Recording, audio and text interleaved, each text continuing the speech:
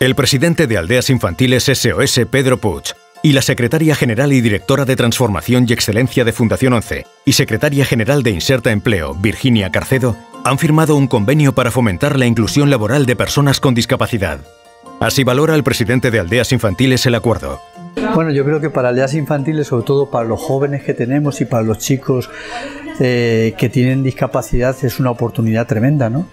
Nosotros lo valoramos como muy positivamente porque se abren nuevas perspectivas de cara a la inserción laboral, de cara a la formación, no solamente de los jóvenes que trabajamos, sino también de los trabajadores y de, y de los centros también que tenemos dedicados especialmente a trabajar con, con personas con discapacidad. En el mismo sentido se pronuncia Álvaro Galán, coordinador del proyecto Alianzas con el Talento en Inserta Empleo.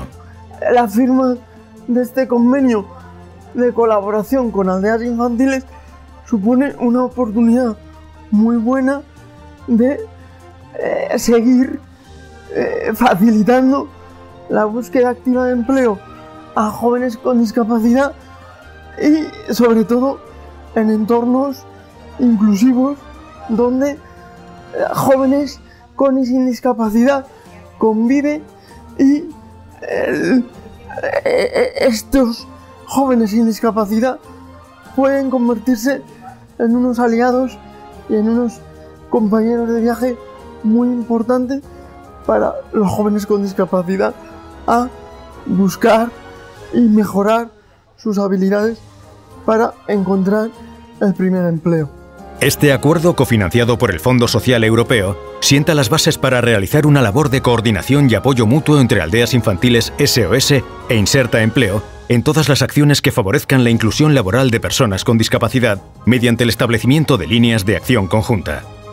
Aldeas Infantiles SOS está presente en España desde 1967. Forma parte de una federación internacional fundada en 1949 en Austria, con presencia en 138 países. Su misión es garantizar el derecho de todos los niños y las niñas a crecer en familia. Para lograrlo, acompaña a las familias que están pasando por dificultades y fortalece sus capacidades para que puedan cuidar mejor de sus hijos y ofrece un nuevo hogar a los niños y niñas que no pueden vivir con sus padres.